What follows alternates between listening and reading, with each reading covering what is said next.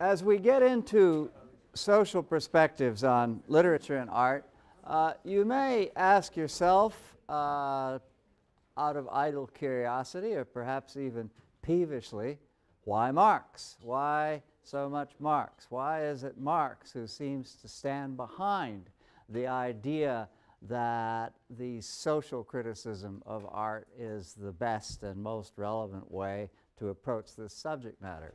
Uh, well, it's because whatever the outcome of Marxist thought may have proven to be historically, it's nevertheless the case uh, to this day that the most devastating critique of existing ideas about things, of states of affairs that, uh, as it were, meander along without too much self consciousness, remains the Marxist one, together perhaps with the Freudian one.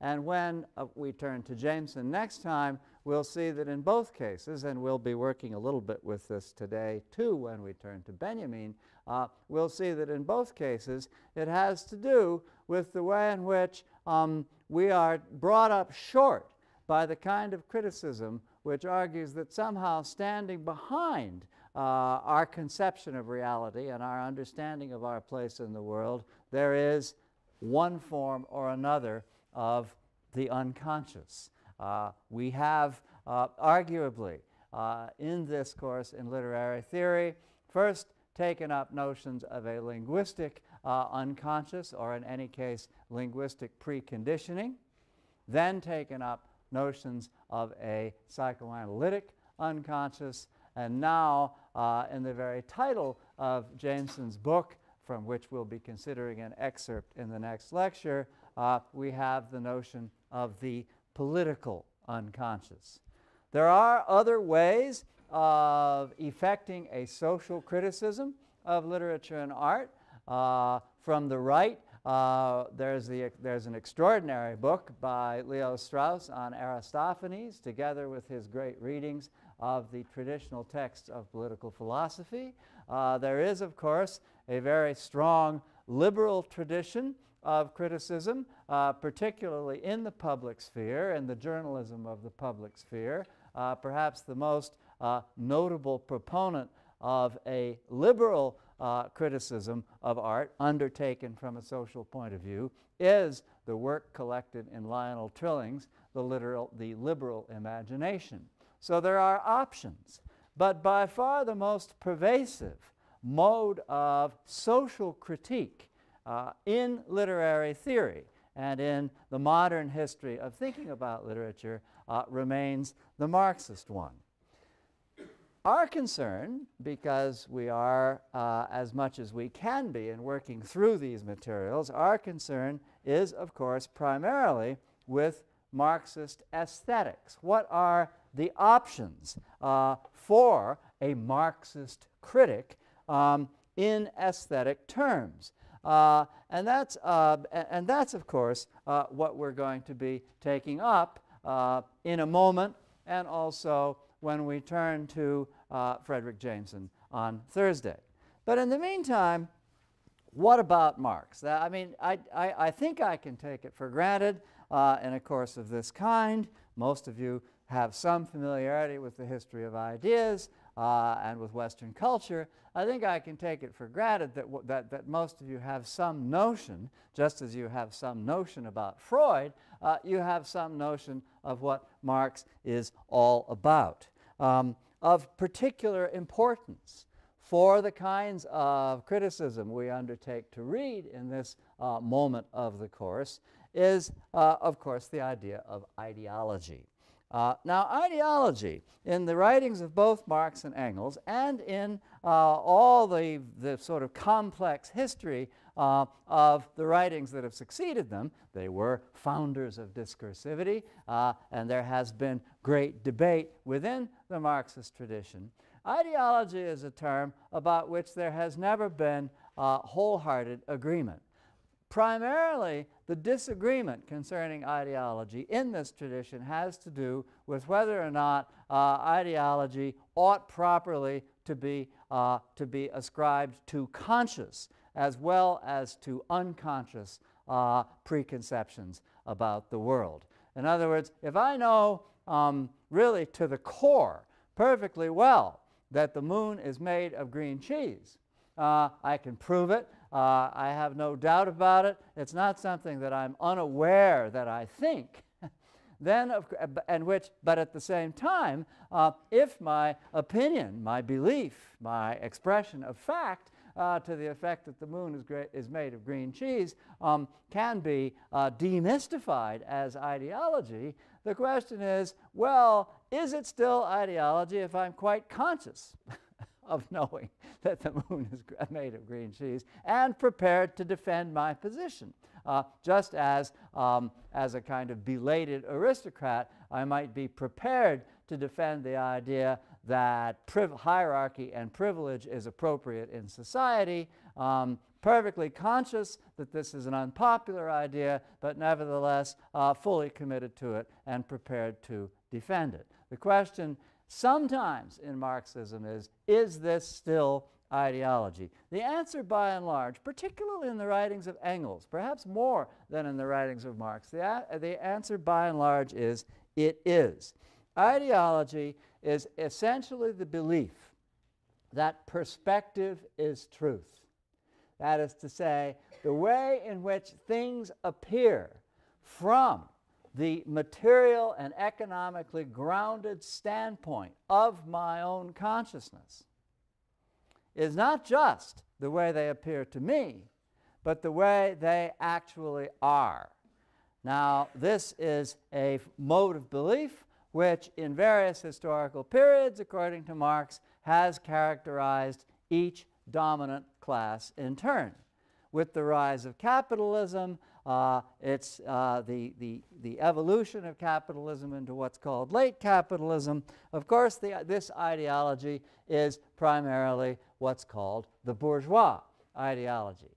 In other words, the idea that the various premises on which uh, bourgeois middle class existence is based, the premises that have allowed for the rise and appropriation of power of the middle class, the idea for example, of the work ethic, uh, the idea of family, the idea of certain forms of, of, of, of moral behavior.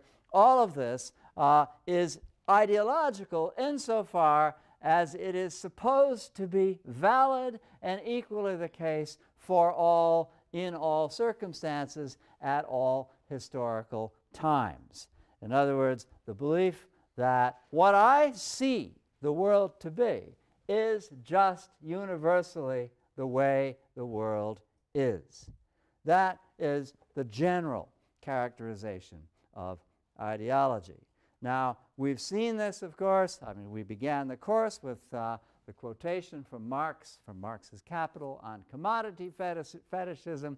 We've seen this uh, in the way in which um, it is just spontaneously supposed, reflexively, without reflection, that the labor properties of something that's produced, that is to say, the value that can accrue to it because of the amount of labor that's gone into it, is actually something that inheres in the product itself of labor.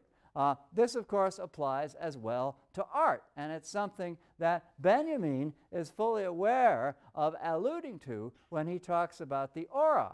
If I forget that art is produced, that a certain quantum of labor, in other words, has gone into the, uh, the emergence of the work of art. And if I simply, in rapt contemplative uh, attention, uh, address myself to the work of art as itself as though it had objective value apart from having been produced in a mode of production, then what I'm doing is commodifying the work of art. From Benjamin's point of view, in other words, to be seduced by the aura of the work of art is, in a certain sense, to experience the work uh, of art ideologically as a commodity. All right, now, returning then to the whole question of the aesthetic uh, objectives uh, of Marxist criticism. There are basically four options. In other words, Marxist criticism has not consistently agreed, uh, particularly in its sort of sophisticated uh, versions, has not consistently agreed about what the aesthetic of art ought actually to be. In other words, how should art reflect society? How should it constitute a critique of society? How should it predict an ideal, uh, uh, emergent, utopian society? Uh, all of these questions are questions of aesthetic because the way in which art does uh, express the social is necessarily aesthetic.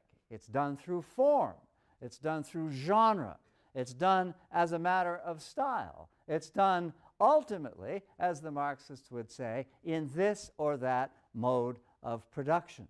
And all of these mediations of, the, of what you might call the expression of society then are understood uh, as the aesthetic in Marxist thought uh, and, and need to be understood in terms of possible options.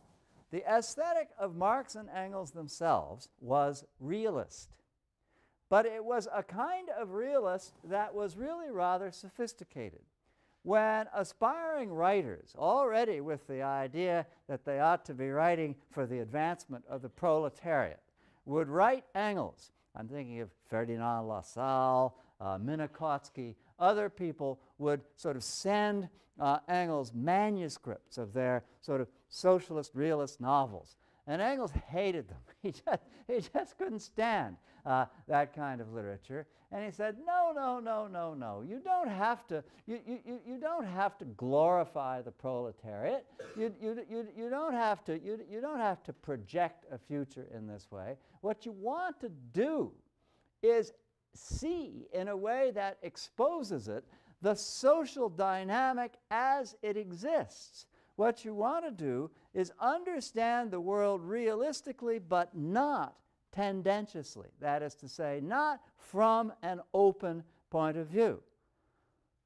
Engels' literary hero was Balzac, who was a royalist reactionary, but who nevertheless, in Engels' view, uh, was so brilliant in evoking society in all of its manifold complexities, particularly in the complexity of its class structure, that this was the model, uh, the appropriate model for people hoping to engage in the business of realist writing.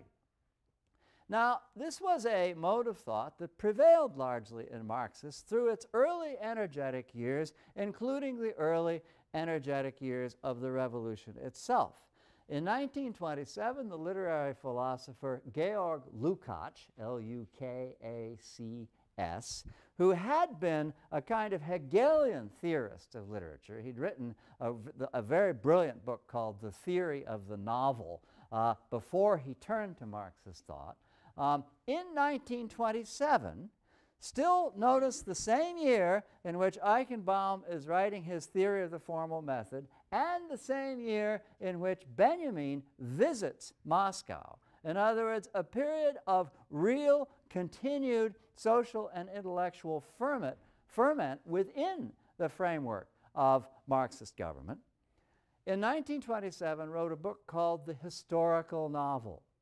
And this book is as though it were taken from Engels' letters. It's partly an attack on what Lukács took to be the sort of narcissistic inwardness of high modernism, particularly Joyce and Proust. It's a tendentious attack uh, and certainly subject to criticism on all sorts of grounds. It's partly that, but it's also just in the way that Engels championed Balzac in his letters. It's a book that champions the novels of Sir Walter Scott.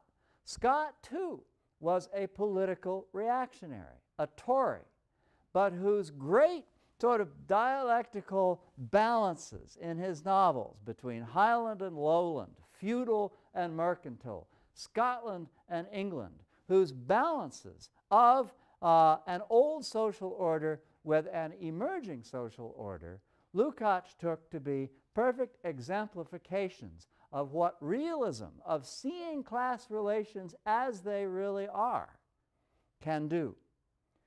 And so this is the tradition of realist aesthetics in Marxist criticism. But then, as really dating from 1927 precisely, uh, with the rise of Stalin, uh, things began to change, at least in the Soviet sphere. And the original ideas of all these people who used to write to Engels, Minna Kautsky, Ferdinand Lassalle, uh, writers of that kind, began to prevail in Soviet thought. There was a literary critic named Zhdanov uh, who articulated uh, a doctrine of Soviet of, of socialist realism.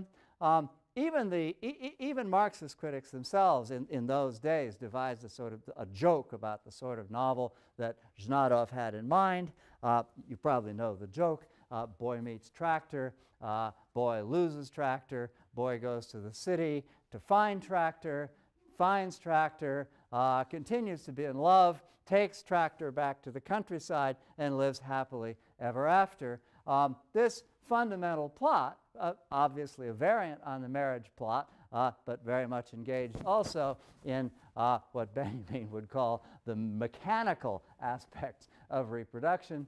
Uh, this, th th th this sort of plot, as the characteristic plot of uh, socialist realism, uh, began to take hold officially so that um, in 1934, uh, the Soviet culture minister Bukharin uh, convened an international Soviet writers' conference in which it was simply decreed from on high that henceforth uh, literary practice would consist in uh, the promotion of an exemplification of socialist realism.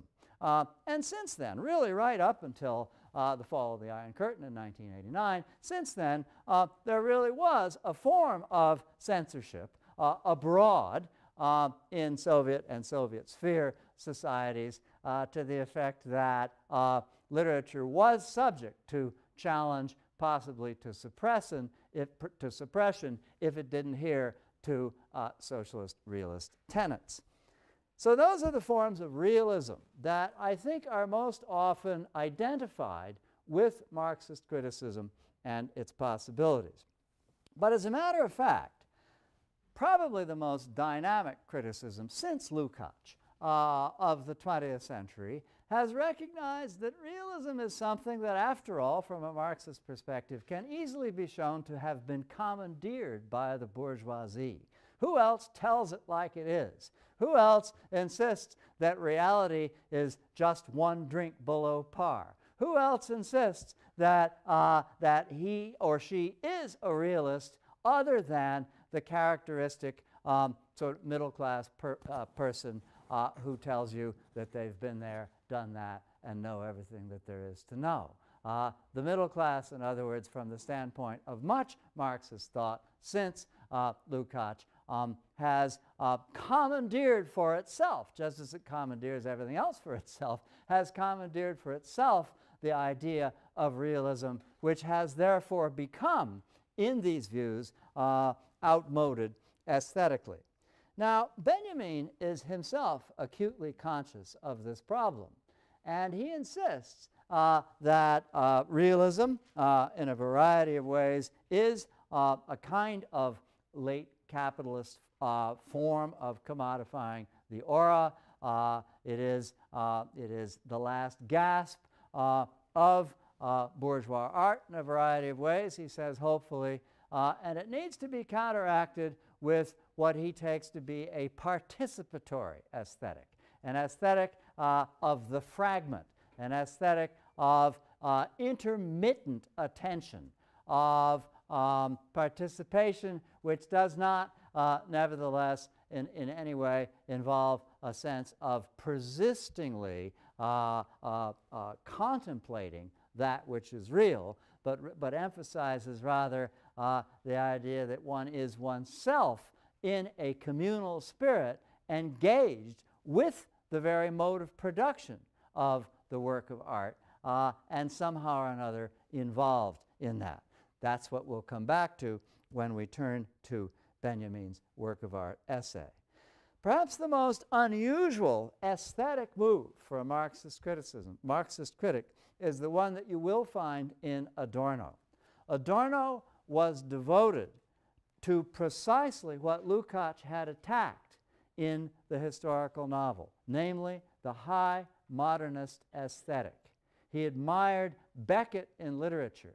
He admired Schoenberg, Berg, Webern in music. Uh, Adorno was by training a musicologist, and he devoted uh, much of his uh, writing career uh, to uh, producing essays and treatises on music and the history of music. Uh, these were heroes in Adorno's pantheon. And of course, the question arises how can, how can these people who have nothing to say about society, uh, who are totally preoccupied with form, who seem to be indifferent to the whole course of history, how can these people uh, be the aesthetic heroes of a Marxist critic? Uh, this is something you see much more clearly in the fetish character uh, essay, uh, from which I've given you the two excerpts, which I hope you have, and I want to pause over them. Because I think Adorno's essay, while perhaps a little quixotic, because after all, whoever could profit uh, from a concept of this kind, that Adorno's effort, essay is nevertheless rather brilliant in its distinction between the totality or wholeness that's offered to you by artistic form and the mere totalization or totalitarianism that's offered to you by modern hegemonic, he hegemonic forms of government, whether truly totalitarian or insidiously totalitarian, like, for example, the culture industry to which he devotes the essay that you've read. Um, so this is what Adorno says in these two passages. Um, he's talking about the way in which uh, people, uh, people in the culture industry uh, who appreciate music are completely victimized by the coloratura local effect, uh, what you might call, this is a, con a, conductor whom Adorno hated, the Toscanini effect. Uh, that flourishing of a particular moment in a concerto the writing it into the ground at the expense of the whole. Everything that has, everything that has uh, what Adorno elsewhere calls lip-smacking euphony. Uh, the sort of, in, a, in other words, a kind of cultivation of perfection of local sound as opposed to an awareness of the total composition. So he says in the first passage, the delight in the moment and the gay facade become an excuse for absolving the listener from the thought of the whole, whose claim is comprised in proper listening. The listener is converted along his line of least resistance, because after all, it's so beautiful to listen to, uh, converted along his line of least resistance into the acquiescent purchaser.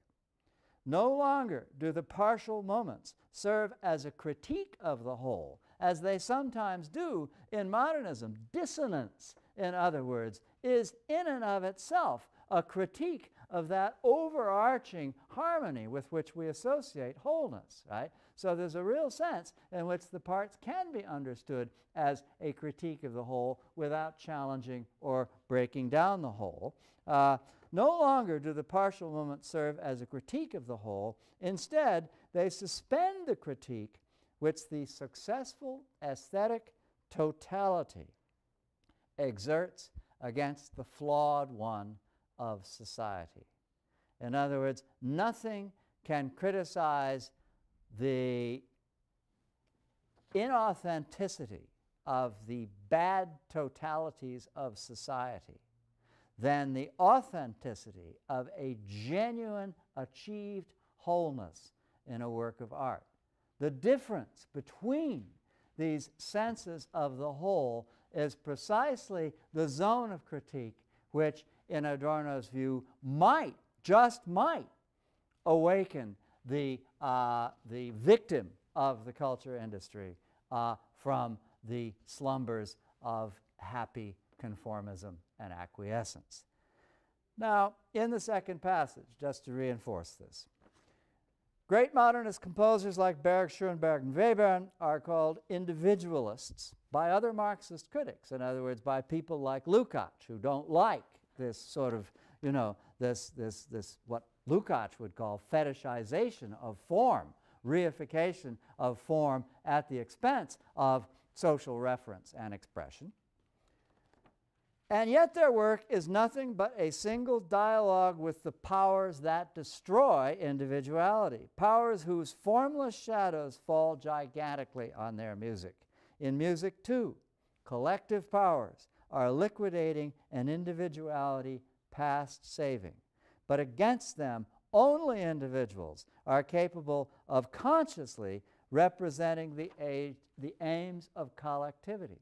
In other words, uh, the the totality, the, the achieved, successful, authentic totality of the work of art models the totality of a collective state in ways that none of the false totalities of current hegemonies can possibly do or even approximate.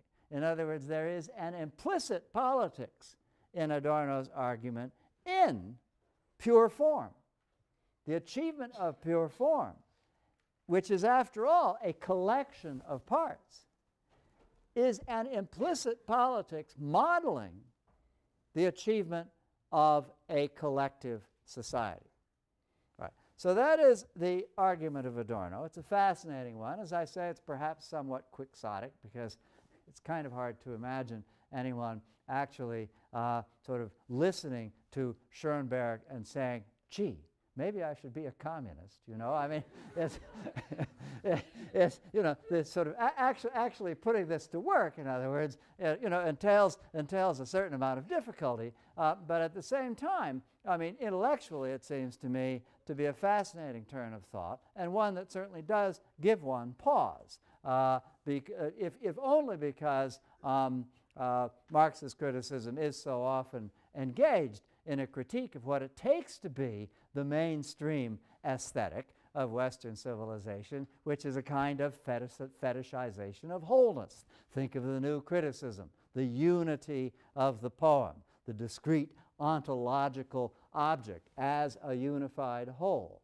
Uh, this is, of course, uh, commonplace uh, in being attacked by Marxist criticism, and it's very interesting to see in a figure like Adorno a champion of this very wholeness who, who, who sees it as a model not of uh, narcissistic individuality, but rather of collectivity.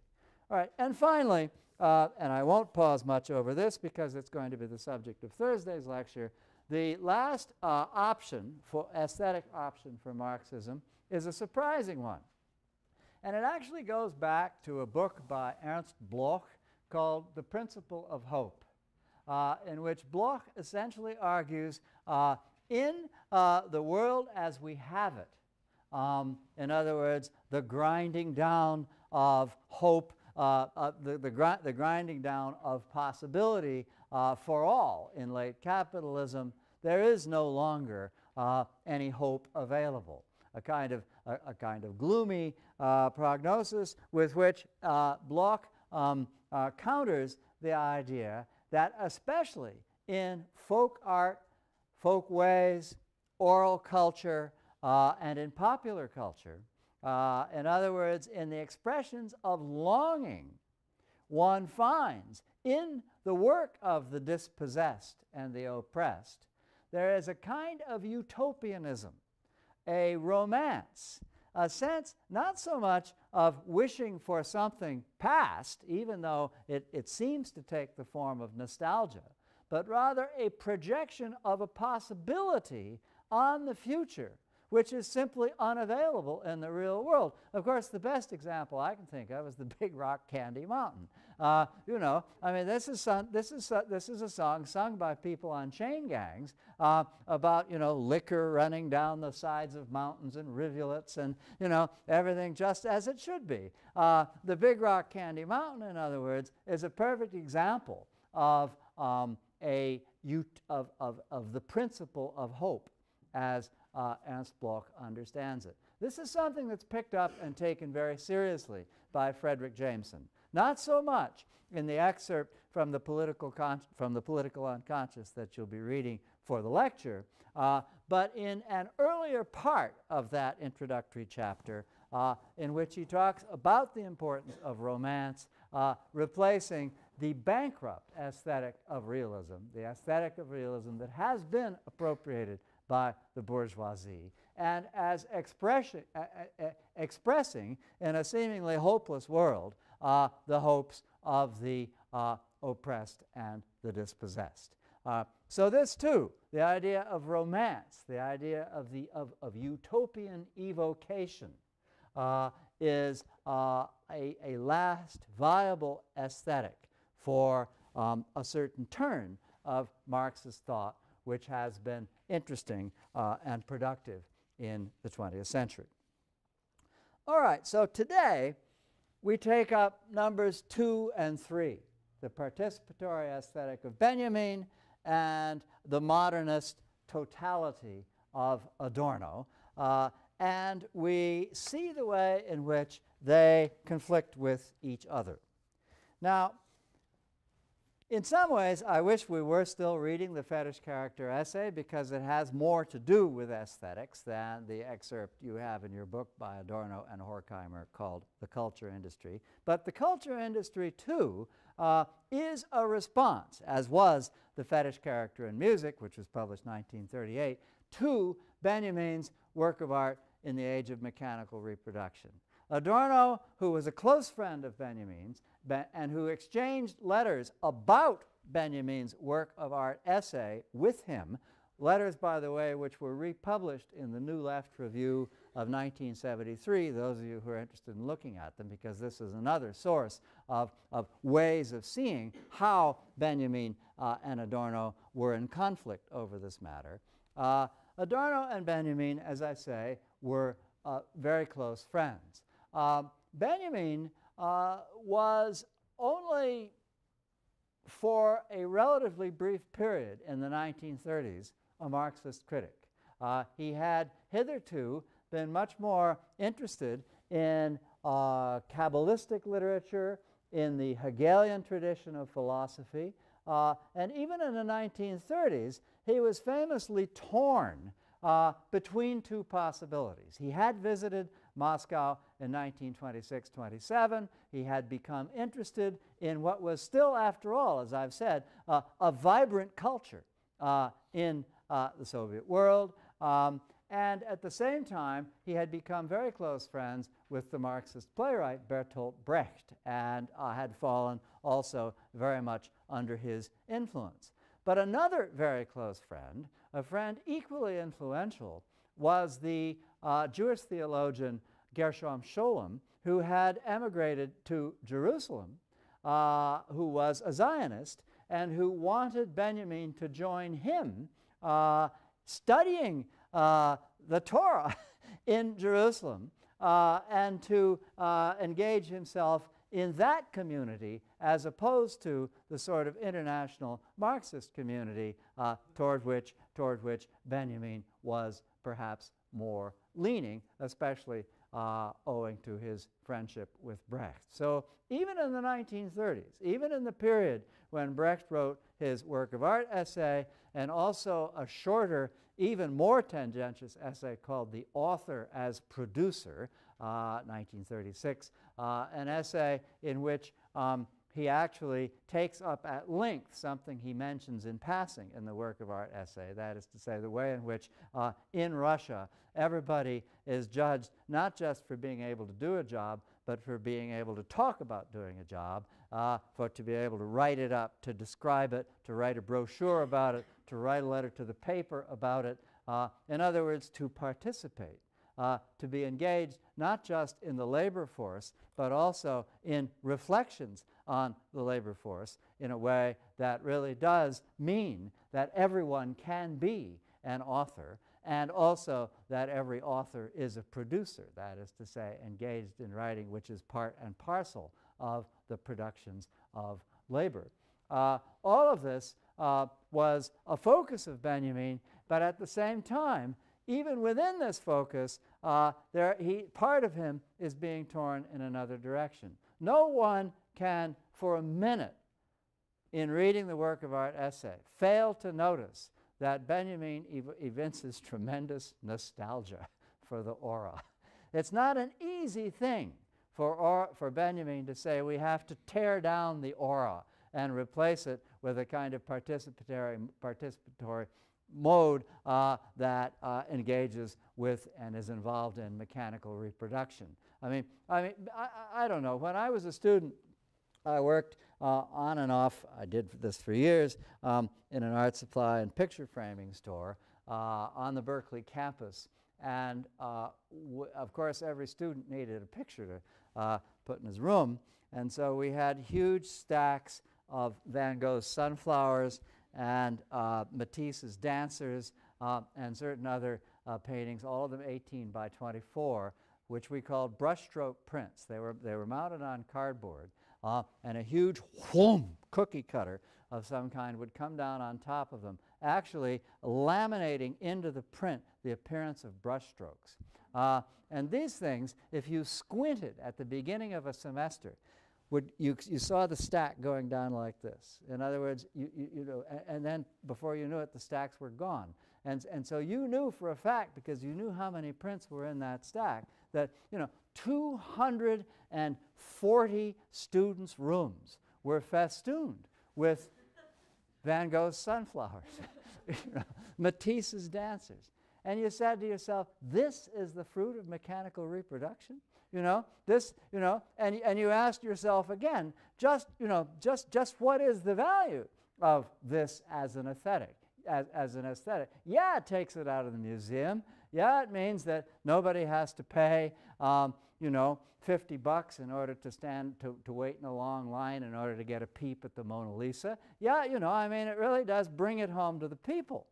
But how and in what way and at the expense of what genuine knowledge of art history and even of Van Gogh and Matisse um, does the fetishization, because it is, after all, fetishization of these little mechanically reproduced brushstroke prints um, amount to. Obviously, this introduces complications, and they're complications, the whole point of my anecdote, they're complications of which Benjamin is far from being unaware.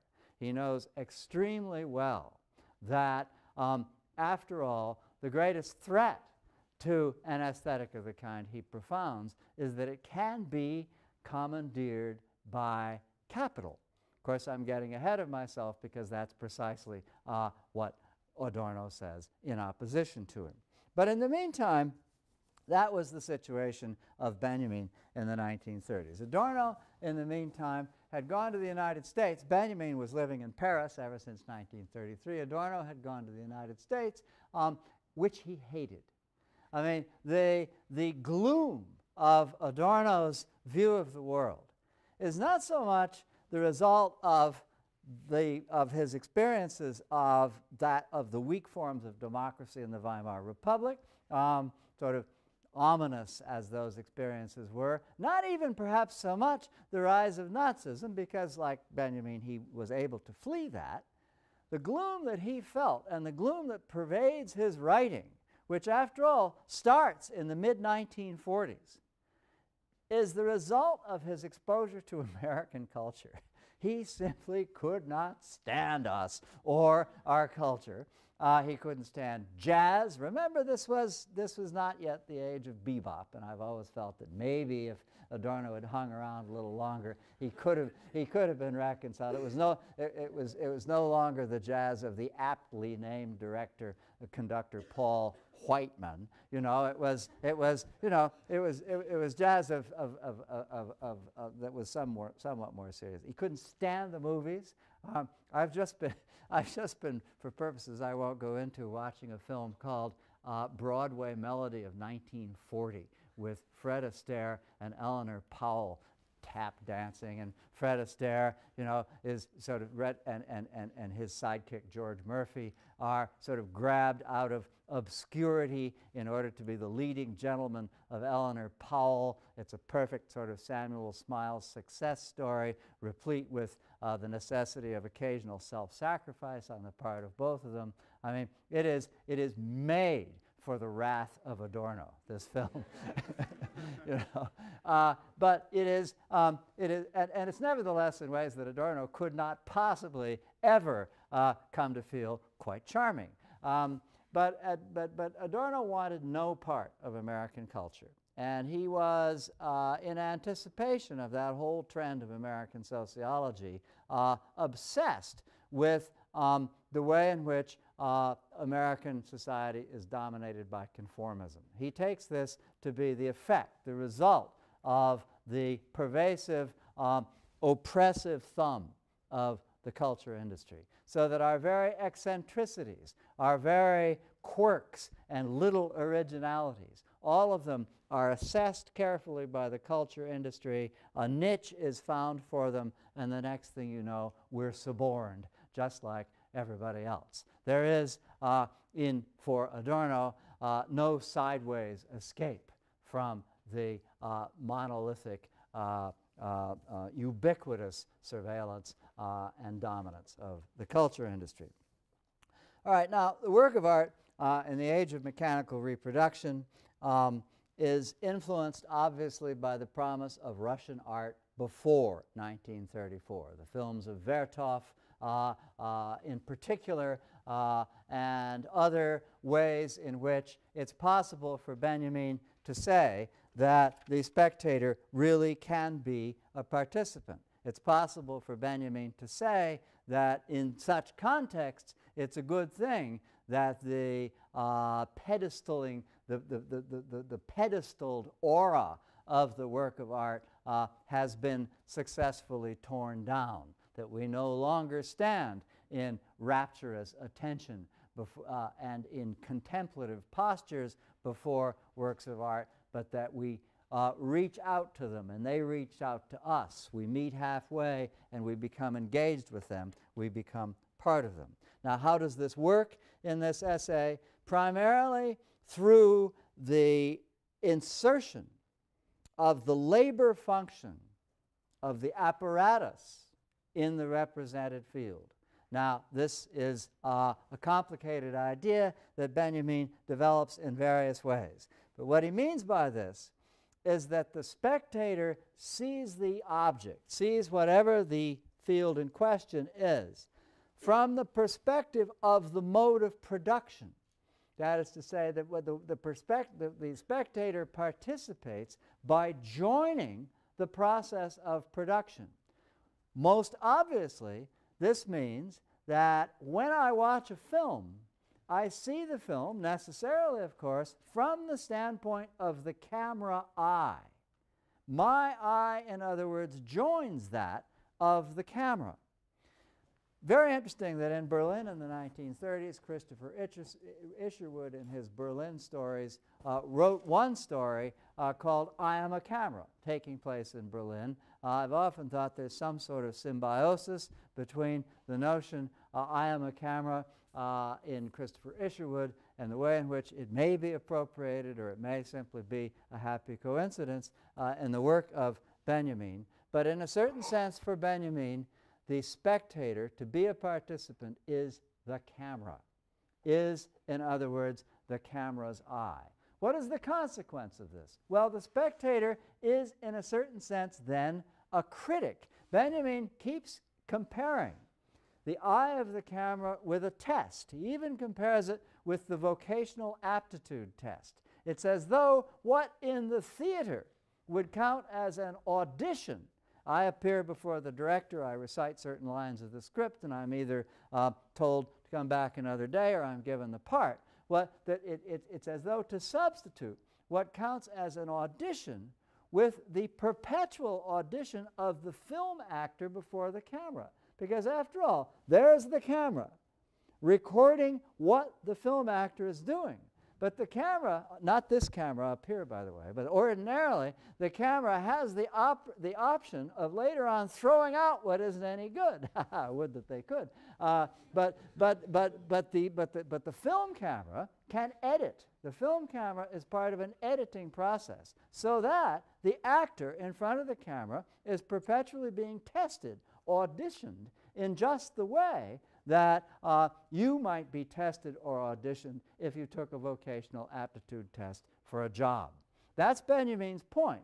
And what he means to say is that if the spectator then takes the camera's eye position, the spectator, him or herself, then becomes a critic, like a sports fan. Benjamin doesn't pretend for a moment that to become a critic of this kind is to be a good critic. Not at all. Not at all. Benjamin agrees with people that we, who say, well, we go to the movies when we're tired, all we want is to be entertained. In fact, we are distracted. We are critics, as Benjamin argues, in a state of distraction. The German word is Zerstreuung. We are zerstreut. And we're perpetually, in other words, uh, not quite paying attention, even while at the same time we are seeing things from the camera eye point of view. To see things from the camera, I'll come back to distraction in a minute. To see things from the camera eye point of view is a position of privilege because it exposes, as Benjamin tells us again and again, things about reality that we wouldn't otherwise notice. The camera is capable of slow motion. It's capable of angles of incidence that we couldn't otherwise see. It's capable of all kinds of effects. Let me enumerate them. I think it's on page uh, 1235. Photographic reproduction, top of the left-hand column. Photographic reproduction with the aid of certain processes such as enlargement or slow motion can capture images which escape natural vision. And on page 1245, he gives this process a name. He says, the camera introduces us to unconscious optics, just as does psychoanalysis to unconscious impulses. In other words, the camera's eye point of view is a privileged perspective. It does show us things as they are. Or perhaps, if not as they are, at least it reminds us that things as we see them with the naked eye aren't necessarily as they are. I mean, it's not perhaps so much a, a, a, a, notion of privileging what the camera sees as real over against what I see. It's a question of the camera reminding us, demystifying our ideology, in short, reminding us that things as we see them aren't necessarily the way things are. The camera, too, may have its bias. Slow motion is an obvious bias. Speed up is an obvious bias. But the speed at which we things see things may be a bias too. That's the point of the exposure. I mean, it's not that it's not that the psychoanalytic unconscious is, is, is telling the truth. I mean, dreams are crazy, right? That's the whole point of dreams. It's not that it's it, it, it's not that it's reality over against a mystified world seen in consciousness. It's a challenge to consciousness by the world evoked in the unconscious, not a question of what's real and what isn't real. Well, it's the same with the camera's eye point of view. And it's all of this which awakens, in a certain sense, awakens the spectator from the complacency of supposing his or her own perspective to be the truth. At the same time, admittedly, the spectator is, dis is distracted, zerstreut. Well, what then? The point is this there's a kind of dialectic between distraction and shock, which is crucial, Benjamin, Benjamin thinks, to a genuine uh, aesthetic revelation. Uh, perhaps the best analogy is with Saul on the road to Damascus. You know how the story goes. Saul's trotting along on his horse and, you know, not paying a lot of attention. He's distracted, daydreaming, whatever, and whoop, all of a sudden he falls off his horse. Right? That's a shock. And it's such a shock that he's converted to Christianity and he stands up and he brushes himself off and his name is Paul, right? He's, he, he's a completely different person, you know, as a result. And this couldn't have happened, in other words, if he hadn't been distracted, right? That's Benjamin's point. Distraction is the atmosphere or medium in which the shock of revelation can take place. And that's the advantage of distraction. He gives a wonderful example of the way in which we do receive works of art in distraction even if ordinary, I mean, even if we're the kind of person who does pay a lot of attention when they go to the movies, you, and we, oh, that's not me, we say, nevertheless, there is one way in which all of us receive works of art in a state of distraction, and that's in our reception of architecture. We pass through architecture. I mean, I, I work in the British Art Center every day. I long since ceased to pay any attention to the British Art Center as a building. Uh, I, I, I, receive the British Art Center, in other words, in a state of distraction. But that doesn't mean that it's not part of my aesthetic experience. It does, however, show that the aesthetic and the, and, and, and, and the, ways in which, the ways in which we process the forms of the world can be assimilated in more than one kind of state of attention. Uh, it is uh, in one's bones, in a certain sense to receive architecture. And yet at the same time, uh, unless we are sort of tourists gaping in front of the Taj Mahal with a camera or something like that, and, and, and, and Benjamin does take that into account, unless we are in that particular mode, we receive the forms of our dwellings in a state of what you might call constructive distraction. All of that goes into Benjamin's aesthetic of participation. Now, I am out of time. Uh, perhaps I've said just about as much about Adorno as I need to say, although admittedly I haven't said much about the culture industry essay. Uh, maybe I'll come back to that briefly uh, before launching into Jameson on Thursday. On Tuesday of next week, we'll be talking about the new historicism, and then we'll bring Tony back, uh, and we'll go through all these various perspectives that we will have been rehearsing uh, to see what we can do with them when we read Tony.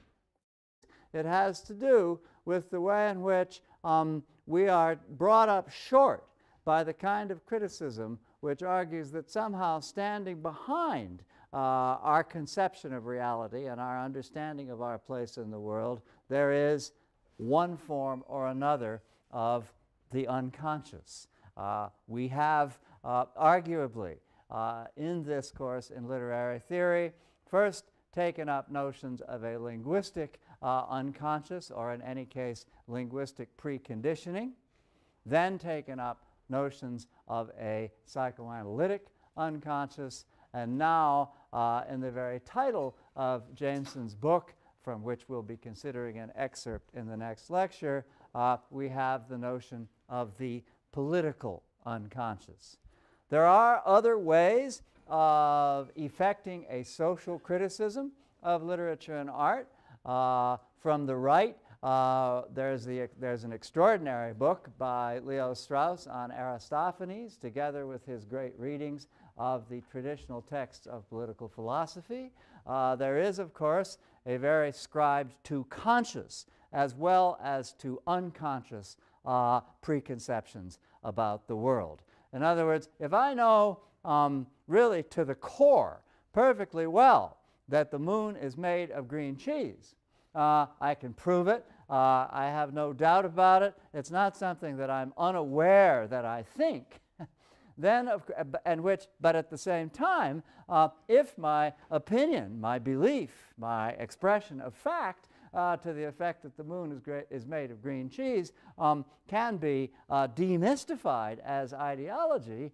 The question is, well, is it still ideology if I'm quite conscious of knowing that the moon is made of green cheese and prepared to defend my position? Uh, just as, um, as a kind of belated aristocrat, I might be prepared to defend the idea that hierarchy and privilege is appropriate in society, um, perfectly conscious that this is an unpopular idea, but nevertheless uh, fully committed to it and prepared to defend it. The question sometimes in Marxism is, is this strong liberal tradition of criticism, uh, particularly in the public sphere and the journalism of the public sphere, uh, perhaps the most uh, notable proponent of a liberal uh, criticism of art undertaken from a social point of view is the work collected in Lionel Trilling's the, literal, the Liberal Imagination. So there are options, but by far the most pervasive mode of social critique uh, in literary theory and in the modern history of thinking about literature uh, remains the Marxist one. Our concern, because we are uh, as much as we can be in working through these materials, our concern is, of course, primarily with Marxist aesthetics. What are the options uh, for a Marxist critic um, in aesthetic terms? Uh, and, that's, uh, and that's, of course, uh, what we're going to be taking up uh, in a moment and also when we turn to uh, Fredric Jameson on Thursday. But in the meantime, as we get into social perspectives on literature and art, uh, you may ask yourself, uh, out of idle curiosity or perhaps even peevishly, why Marx? Why so much Marx? Why is it Marx who seems to stand behind the idea that the social criticism of art is the best and most relevant way to approach this subject matter? Uh, well, it's because whatever the outcome of Marxist thought may have proven to be historically, it's nevertheless the case uh, to this day that the most devastating critique of existing ideas about things, of states of affairs that, uh, as it were, meander along without too much self-consciousness, remains the Marxist one, together perhaps with the Freudian one. And when uh, we turn to Jameson next time, we'll see that in both cases, and we'll be working a little bit with this today too when we turn to Benjamin, uh, we'll see that in both cases, time what about Marx? I mean, I, I, I, think I can take it for granted uh, in a course of this kind. Most of you have some familiarity with the history of ideas uh, and with Western culture. I think I can take it for granted that, that, that most of you have some notion, just as you have some notion about Freud, uh, you have some notion of what Marx is all about. Um, of particular importance for the kinds of criticism we undertake to read in this uh, moment of the course is, uh, of course, the idea of ideology. Uh, now, ideology, in the writings of both Marx and Engels, and in uh, all the, the sort of complex history uh, of the writings that have succeeded them, they were founders of discursivity, uh, and there has been great debate within the Marxist tradition. Ideology is a term about which there has never been uh, wholehearted agreement. Primarily, the disagreement concerning ideology in this tradition has to do with whether or not uh, ideology ought properly to be, uh, to be